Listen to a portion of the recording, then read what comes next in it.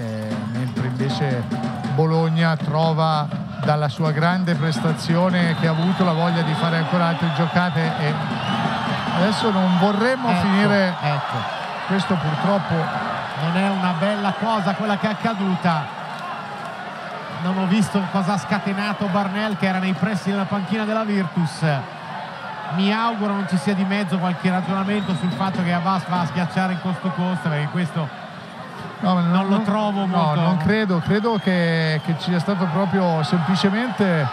un possesso difensivo, come dire, eh, normale della Virtus, c'è stato un contatto e poi nell'inseguire il pallone probabilmente, sai, nel corpo a corpo dei giocatori, nella stanchezza sarà successo qualcosa. Credo che sia soltanto questo adesso. ah, ah spinta spinta di Barnell